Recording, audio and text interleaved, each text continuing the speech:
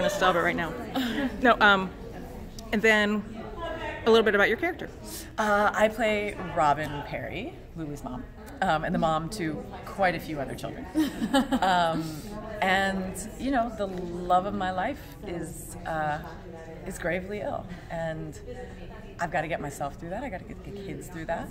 Um, we are not a culture that deals particularly well with sickness or death or grief, and when you're in them, you've got to come up with, you've got to kind of create it out of whole cloth because we don't have too many models.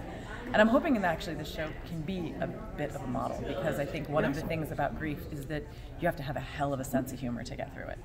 Um, and you've really got to be brave. And it's not as dark a place as you can kind of think, and it's not as lonely a place as you can kind of think.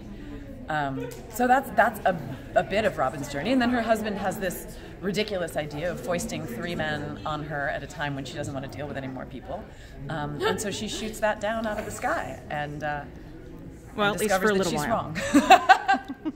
exactly, discovers that she's wrong. Well, great. Thank you guys so much. Can't wait for everybody to see it. Thank you.